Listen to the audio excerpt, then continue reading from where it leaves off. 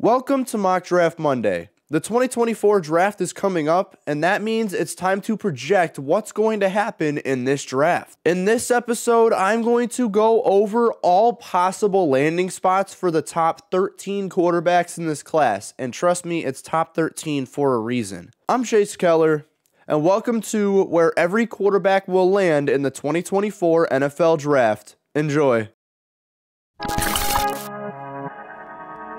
Alphabetical order gives us Western Kentucky quarterback Austin Reed to start this list. And with this late day three projection, it's not the greatest start. He had a great 2022 season, but he decided to return for 2023 and he did not play up to his own standards. As a result, he's dropped in the rankings. He was a fourth, fifth round pick last year, and now he's like a sixth or seventh round pick. When it comes to teams that need backup quarterbacks, two of them come to mind. First up is the Tennessee Titans. I've thought about the Titans moving forward from Ryan Tannehill this offseason simply because he's a free agent and they've already had to pay him a lot of money. I also have a feeling that a team that is going to draft a rookie quarterback will probably pick up Tannehill for competition Think of like Atlanta or New England. So with the slot freeing up in Tennessee, they could use their later round picks to take Reed. Also freeing up possibly the Los Angeles Chargers. Easton Stick has been the backup since 2019 and with Herbert's hand injury, they rolled forward with Stick instead of getting another quarterback in free agency. And we saw how he performed.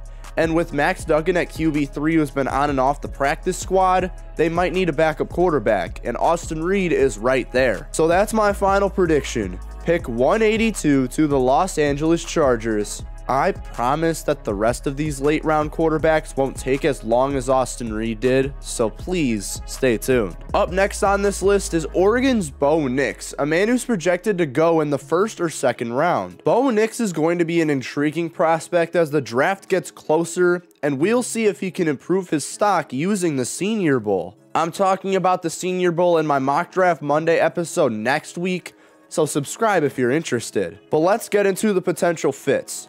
When it comes to the highest he can be drafted, I don't see him going any higher than Denver at pick 12. It's a good pick for Denver, as it gives them that half athletic option with good accuracy in the short and medium game. At his ceiling, he could be an elite game manager, especially given some surroundings. As we move forward, he's less of a fit for the Raiders due to the sheer amount of deep threats in that offense and Bo Nix's arm isn't that great. And then there's the potential round two tag, which I see in the New York Giants. I don't think the Giants should take a quarterback round one. They just extended Daniel Jones and they have bigger needs at other positions, so they could definitely take a quarterback in the second round to have competition. If he does fall to New York in the second round, I would pull that trigger in an instant. And my surprise selection for Bo Nix is the Seattle Seahawks.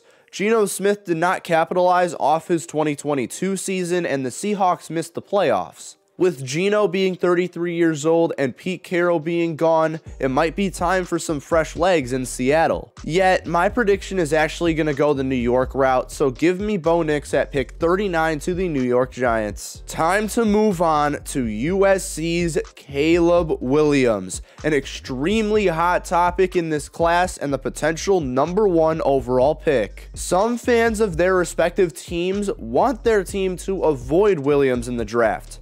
Others will pull the trigger right away. But the biggest question is where he could possibly end up at. It starts with the Chicago Bears at pick 1. Some fans tell the team to stay, Others say to trade down and not take a quarterback. If Chicago does take him, they will get a fairly similar version of Fields, except with a stronger arm. Williams plays just like Fields with the pocket presence included, but I think Williams is just as good as Fields is now. But we'll get back to that idea. How about the Washington Commanders at pick two? Chicago could stay at pick one and take generational talent Marvin Harrison Jr., which has Caleb Williams fall to the Commanders at two.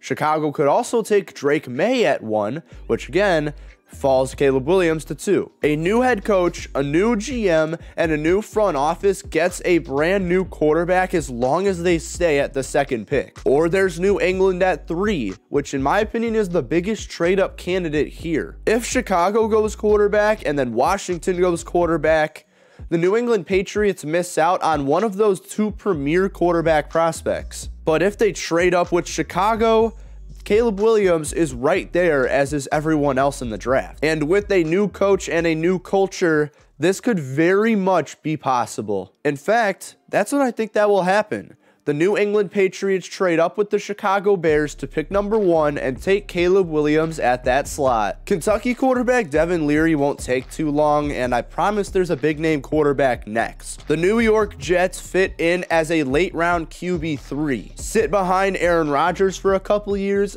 and probably Zach Wilson too, since the Jets love him so much. But if you land in New York with the Jets, you do get a good chunk of opportunities. And then there's also the Los Angeles Rams, who took a shot at Stetson Bennett last year and basically missed. Another QB3 opportunity to sit behind a potential Hall of Famer and a guy who might not even be QB2 next year. I think the Jets are more realistic, so they pick up Leary at 252 or 253. And now we have the other big quarterback. North Carolina QB Drake Maye is projected to be number one in some other mock drafts. And he's probably going to go within those top three picks as well which is the same as Williams, so I won't talk about them too much. Once again, we have the Chicago Bears, who I think are going to trade down, but even if they stay at number one and take a quarterback, I think Caleb Williams is more appealing for them because of his skill set. And if Chicago doesn't trade down, there's still the possibility of Drake Maye. And if Chicago does do this, they actually get the quarterback that I prefer of those top two guys. So Chicago, don't be too down if you end up landing Drake Maye. But again, I do think they will trade down, so let's move on to Washington at pick two. If they don't care about the prospect, they'll obviously stay at pick two and just take whichever quarterback is left. But if they do, they will be ringing Chicago immediately and trying to trade up to pick one. Then there's the opportunity if Chicago stays at pick one and takes Marvin Harrison Jr.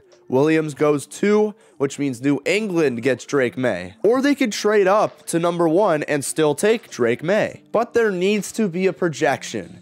As I said, I have New England trading up to pick one and taking Caleb Williams with the first overall pick, which means Drake Maye falls to Washington at two, and with them desperately needing a quarterback, Washington takes Drake Maye with the second pick. And right after Drake Maye, we move on to the third best quarterback in the consensus class, which is Jayden Daniels. We get the treat of Caleb Williams, Drake Maye, and Jayden Daniels within the last four sections. Daniels wasn't even on the scene until his Heisman campaign in 2023, and with his great combination of arm talent and athleticism, teams are going to love him. He could even creep into the top three if everything falls in line, so let's talk about this boatload of opportunities. Beginning with the New England Patriots at pick three, this can really only happen if Chicago stays and goes quarterback, and then Washington goes quarterback, leaving Jayden Daniels at pick three. This also has to happen if the New England Patriots don't think about trading down if they don't get those top two quarterbacks. If the Bears do go Marvin Harrison Jr. at pick one or even pick three, those opportunities expand. First up in the order is the New York Giants at pick six.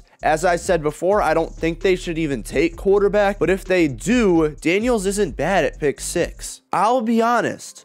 I don't like him as much as consensus does, but I can't project everything off my own list, so let's move on. Then there's the Atlanta Falcons, who hold the eighth overall pick and are one of four teams in my eyes that absolutely need to go quarterback. The other three being New England, Las Vegas, and Washington. The Falcons desperately need a good quarterback. And with a rookie head coach, that is more common of a pair than you may think. And then there's the Bears again if he falls to pick number nine. I'm going to be honest if Jayden Daniels finds his way to slip his way to the ninth overall pick, even if Chicago doesn't go quarterback with their first pick, they need to go with Daniels at pick nine. They didn't want to take a quarterback earlier, but now they have an option they cannot pass up. Yet, I don't think he comes close to nine.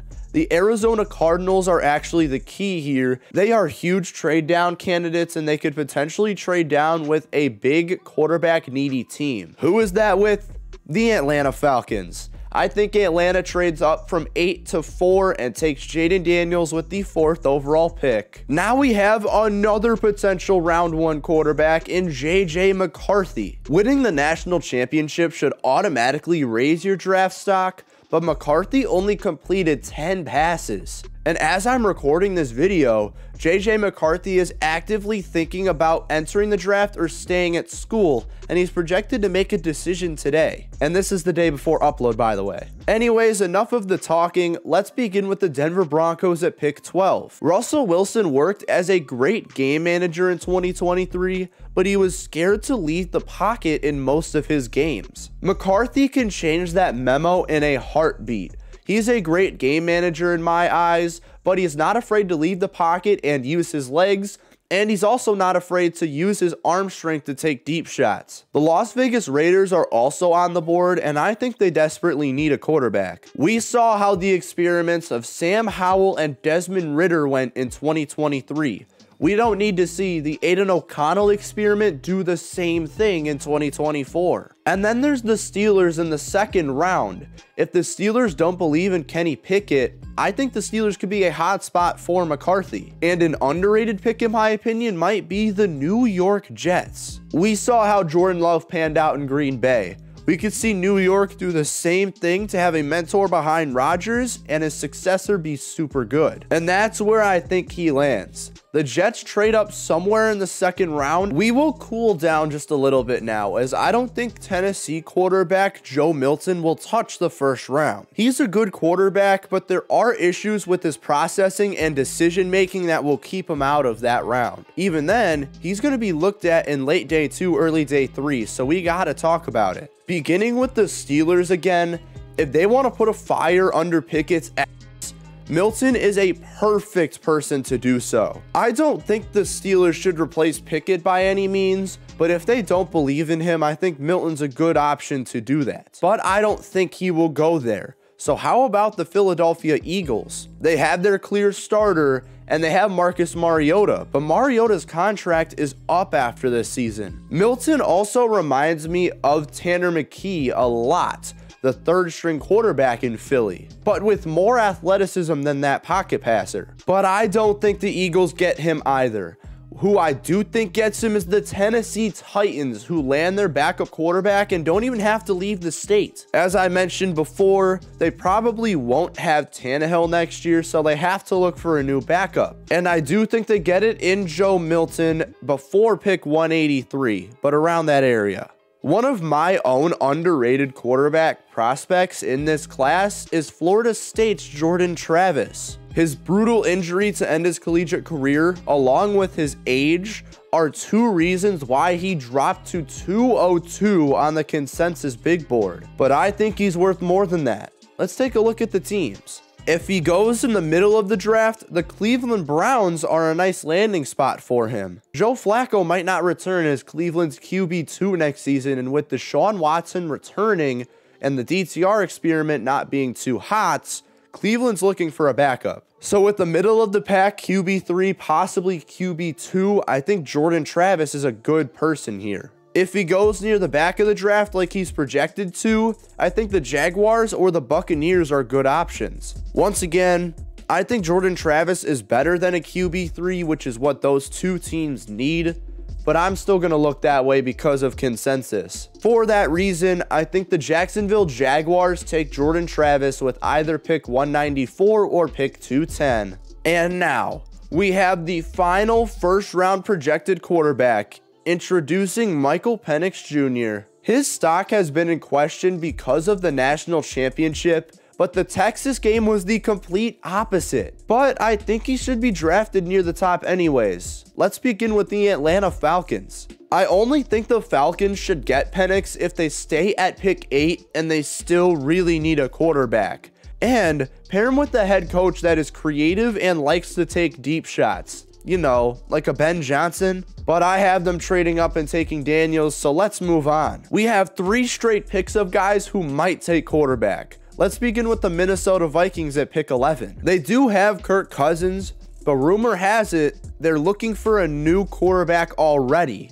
If they are, Penix is not a bad idea with the 11th pick. Then there's the Denver Broncos at 12 who can try and turn Penix into a game manager given his pocket passer presence. God, that was a tongue twister. And I know Peyton is going to love the strong arm that Penix has. He's going to just fall in love with it. And finally, the Raiders at pick 13. I don't think they should follow the same route that Atlanta and Washington followed in 2023. Instead, they should look for that new franchise guy. And I think Penix is a good option for them at that pick. So, who will swing their bet at Penix in this draft? I think it's going to be the Denver Broncos, who take him with the 12th overall pick. We have three quarterbacks left, so stick in with me here. Let's move on to Tulane's Michael Pratt. The options for the poised and confident quarterback are very similar to the other backup options, so let's breeze through this. Beginning with the Titans, Ryan Tannehill, blah, blah, blah, Joe Milton's already there. Then there's the Chargers, Easton Stick, blah, blah, blah, Max Duggan, blah, blah, blah, and Austin Reed's already there. So I have this idea. Jameis Winston is an unrestricted free agent and might be out of New Orleans. With Derek Carr not doing amazing down there and Pratt staying in states, New Orleans might take a shot at Michael Pratt in the draft. I do like this idea, but I don't think this will happen unless Jameis Winston goes elsewhere in free agency. Someone who I believe is a UDFA prospect but will likely get drafted is Notre Dame's Sam Hartman. Hartman is fifth all time in FBS passing yards, but that might act as a facade. I'm literally just going to name these off. My three potential landing spots are the New York Jets, the LA Chargers, and the Tennessee Titans. But those three teams already have quarterbacks. This makes me believe more and more that Sam Hartman actually won't get drafted this year. And finally, to end this mock draft episode, I have Spencer Rattler out of South Carolina. He used to be sought out as a potential first round pick when he came into college, but after his fall off at Oklahoma and at South Carolina, he's kind of fallen down boards. But he's had a comeback year and he's now projected to be a fourth round pick. So we got to talk about him. Let's get the Titans and the Chargers out of the way. They already have their backup quarterbacks that I projected to them, but they could still take a shot at Rattler if they don't take who I said they would. There's also the Cleveland Browns, who I have yet to project a backup quarterback to in Cleveland, Rattler can spend time under Deshaun Watson and possibly even take that starting job if he continues to perform like he has been. Rattler does have nice arm talent, and he could be a really successful backup in the NFL. With that being said, I have the Browns taking Rattler at pick 88. Which quarterback do you want your team to select in the 2024 NFL Draft? Let me know in the comments section below. Wait, are you not subscribed yet? Well, do it now. I release content like this all the time and would really appreciate your support. I'm Chase Keller from Chase Keller Journalism, and I will see you all next time.